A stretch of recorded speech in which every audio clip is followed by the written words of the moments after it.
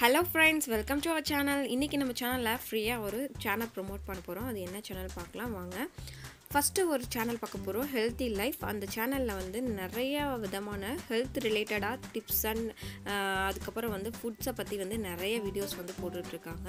எல்லா வீடியோஸுமே சூப்பராக இருக்குது நம்ம ஹெல்த்துக்கு என்னென்ன ப்ராப்ளம் வரும் என்னென்ன சாப்பிட்டா எப்படி எல்லாம் குணமாகும். ஸோ சின்ன சின்ன டிப்ஸ்லேருந்து பெரிய பெரிய டிப்ஸ் வரையும் எல்லாமே போட்டுட்ருக்காங்க.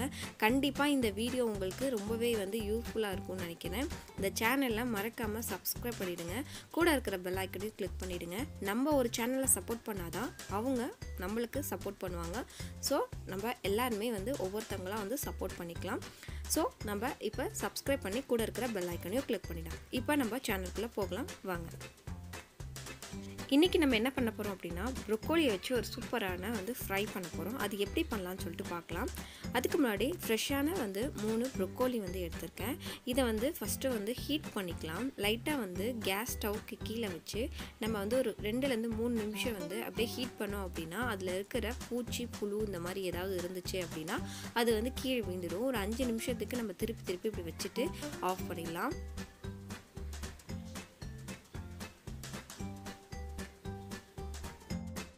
இப்போ ஒரு அஞ்சு நிமிஷம் கழித்து நம்ம வந்து ஒரு பேன் வச்சுக்கலாம். அதில் வந்து நம்ம சூடான தண்ணியில் வந்து சின்ன சின்னதாக கட் பண்ண ப்ரொக்கோலியை வந்து ஆட் பண்ணிக்கலாம்.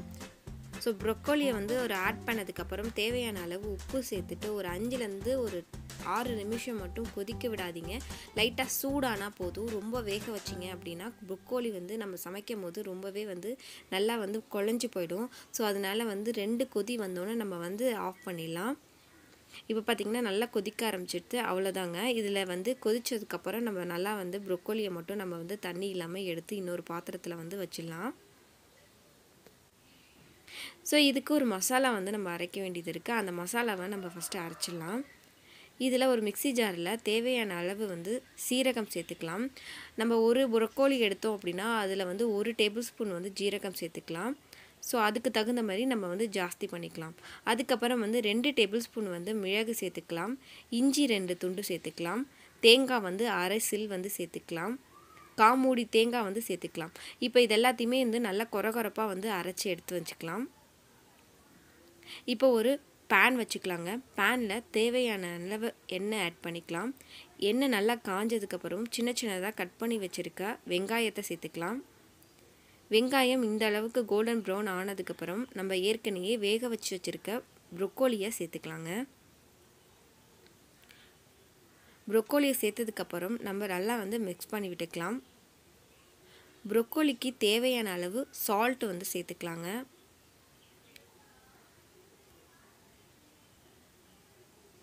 ஏற்கனவே நம்ம கொதிக்க வைக்கும் போது ஒரு தேவையான அளவு உப்பு போட்டிருப்போம். ஸோ அதனால வந்து நம்ம டேஸ்ட்டுக்கு தகுந்த மாதிரி நம்ம போட்டுக்கலாம். இதில் கா டேபிள் ஸ்பூன் வந்து மஞ்சத்தூளையும் ஆட் பண்ணி நல்லா ஒரு ரெண்டு நிமிஷத்துக்கு நம்ம வந்து ஸ்லோ ஃப்ளேமில் வந்து வச்சுக்கலாம்.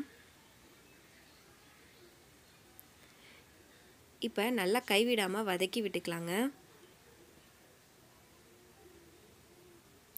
இந்த ப்ரொக்கோலியில் நிறைய விதமான சத்துக்கள் இருக்குது நம்ம வீட்டில் அடிக்கடி செஞ்சு சாப்பிட்றதுனால நம்மளுக்கு நல்ல ஒரு ஹெல்த் ரிலேட்டடாக வந்து சம்மந்தப்பட்ட எந்த ப்ராப்ளமும் நம்மளுக்கு வராது. கண்டிப்பாக ப்ரொக்கோலி கிடச்சிச்சின்னா நீங்களும் ட்ரை பண்ணி பாருங்கள் ரொம்பவே டேஸ்டியாக இருக்குங்க. இப்போ நம்ம அரைச்சி வச்சுருக்க மசாலாவை ஃபுல்லாக சேர்த்துக்கலாம். இது எனக்கு ஒரு ஃபோர்லேருந்து ஃபைவ் டேபிள் ஸ்பூன் வந்து வந்துச்சு மசாலா. நான் வந்து ரெண்டு ப்ரொக்கோலி எடுத்திருந்தேன். ஸோ அதுக்கு தகுந்த மாதிரி மசாலாவை நான் வந்து சேர்த்துக்கிறேன். இதில் பெப்பரோட டேஸ்ட் தான் வந்து நம்மளுக்கு அதிகமாக இருக்கணும். அதனால பெப்பரை வந்து நம்ம கொஞ்சம் ஜாஸ்தி படுத்திக்கலாம்.